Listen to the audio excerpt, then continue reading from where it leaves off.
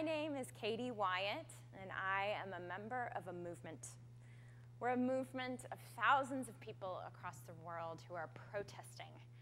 We're protesting for the protection of the right for all people, no matter their social or economic circumstances, to know beauty, to wonder, to be captivated, to be able to draw from a wellspring of joy inside of them. I'm a member of a movement and this movement is called El Sistema, the system. I wanted to start today with music, which is the way that I was introduced to every El Sistema classroom in Venezuela when we walked into them. I first experienced El Sistema in 2005. That's me in uh, neighborhood in Caracas as a violist under the baton of Gustavo Dudamel, who is the most famous graduate of the El Sistema Youth Orchestras of Venezuela. He's now the music director of the Los Angeles Philharmonic. He was a Time Magazine Person of the Year. Crazy hair, great attitude. Um, you probably have seen him. I was part of a touring festival called the Youth Orchestra of the Americas, which was a group of young people that were brought together to travel to North and South America, to travel to South America we were from both North and South America, and we were brought together really to learn from one another, to practice together, to party a little bit. I don't know how that got in there. That's where I learned how to salsa. And of course, to leave uh, our experience in South America and Latin America with different ideas. I came away with different ideas about the guerrilla warfares of Colombia. While in, on tour in Venezuela, I learned about the disappeared in Argentina for the first time. In the orchestra, I learned that my friends from Latin America were taught that instead of there being seven continents on the globe, that there are only six. In Latin America, you don't learn that there is North and South America. It is just America. When we arrived in Venezuela, there was another audition. I had gotten into the orchestra, and we get there, and they say, okay, great, thank you so much for coming. Everyone played beautifully. You now have to audition again for your seats in the orchestra. So I did my audition. I played pretty well. At the time, I was 25. I had uh, just graduated from the Cleveland Institute of Music with my master's. I had been performing with the New World Symphony in Miami. I had taken the audition for the Detroit Symphony and other top 10 orchestras in the country. I was doing pretty well. 25.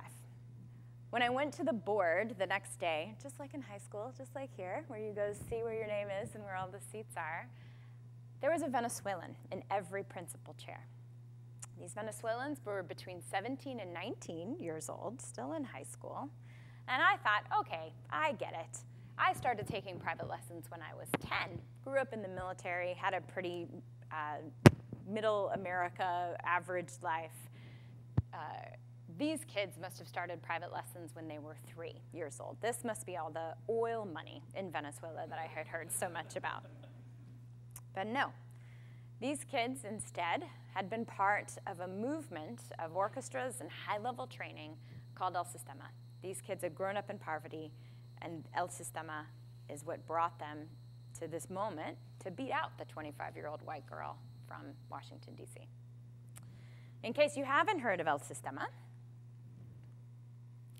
or you feel like maybe you know a little bit about it, but aren't quite sure exactly what it is, El Sistema is the international movement of music for social change that started in the 1970s in a parking garage in Caracas, Venezuela. It was founded by Maestro Jose Antonio Abreu, who was an economist, pianist, composer, and conductor.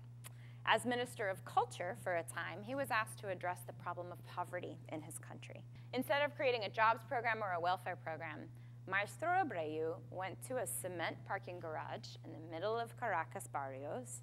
He put out 100 chairs, 50 music stands, and an instrument on every chair. The first day, 12 kids showed up. The next day, 20 kids came. From that, that orchestra grew to hundreds across the city, to thousands across the country, to now 2 million children enrolled in youth orchestras all over the world. And so back to the summer of 2005 in Venezuela, where after a month and a half of touring together as an orchestra, we gave our final performance in Rosario, Argentina, a very small town in the northern part of Argentina. From my chair in the viola section, as the music pulsed around me, I looked out on a sea of entirely brown faces. This was the first time that I, in a symphonic orchestra, had looked out into an audience that wasn't completely white. And for, to be honest, usually most of the orchestra is white also. This was a moment where I realized these are my people. These people love what I love. They love classical music. They get me. Through making music, the hundreds of us on stage and the hundreds of people in the audience were building something that we had in common. Through our active performing, through unspoken communication, we were building a playing field for empathy.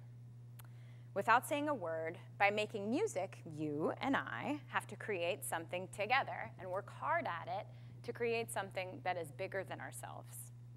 Maestro Abreu said that the orchestra is the only community where the essential and exclusive feature is to come together with the fundamental objective of agreeing with itself. And to agree on what? On beauty. I returned to Venezuela in 2005, sorry, in the spring of 2010 as part of a five-year project established by Maestro Abreu when he won the TED Prize in 2009.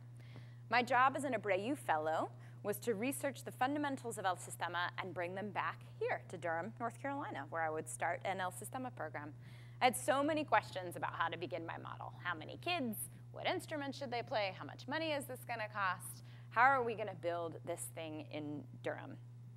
To this, most Venezuelans would just pat me and say, tranquilo, flaca, chill out, skinny lady. No one in Venezuela would tell me that this was the way, that this is how you need to start an El Sistema program around the world. Instead, they said the best advice that they could give me, and what was the most important takeaway that I could have, is that I must begin immediately, like on Skype, while I was still in Venezuela. At that moment, I realized the essence of the motto of El Sistema, which is tocar y luchar, to play and to strive. Sometimes it's not about beginning with the end in mind. Sometimes the most important part is just beginning. Upon my return from Durham, uh, upon my return from Venezuela, I've founded a nonprofit here in Durham called Kidznotes. Prior to Kidznotes, children from East Durham were considered problems to solve. I went to a lot of nonprofit meetings where it was about the blight of uh, education in East Durham and that these students were victims of poverty. 10 years later, these students in Kidznotes, same kids, are looked to as leaders in the classroom and the bright young youth of Durham. Tocar y luchar. When I returned from Venezuela, I called my teacher at the time, Bob Vernon, to let him know about my decision to leave playing the viola and go into building El Sistema inspired programs. Mr. Vernon is the principal violist of the Cleveland Orchestra, undoubtedly one of the best orchestras in the world. This is after I told my parents about my change in career. And while they were pretty supportive, there was always a nagging question for me, which was why on earth did they pay for all those lessons? Mr. Vernon picked up, and before I could even get through what I wanted to tell to him, I was in tears. I felt like I must be such a huge disappointment to him, having worked my tail off, remember, from third grade all the way through graduate school playing viola, to then go to Venezuela for a summer, gallivant about, and come back and change everything and say that I want to go into community organizing and change making through music. After listening to me cry, as all great teachers do, he said, Katie, this is the moment we have been preparing for. This is exactly it. All of your focus, hard work, dedication, sacrifices have led you to this moment. You have been practicing for exactly this. Seize the moment, you're ready. Tocar y luchar. Practicing for exactly this. I never realized that practicing the viola could prepare me towards a career in mastery to becoming the president and CEO of El Sistema USA the discipline to go back to it every day, to listen to myself and to my teachers with humility, to apply learning, make changes, and then get right back out there, to be your own personal feedback loop. I live every day with Tocar y Luchar, to play and to strive. What I love most about this call to action is its connection to practice, to showing up every day, to going for it every day, to always, always go for broke, to go farther than expected. It is in the luchar to strive. Thank you very much.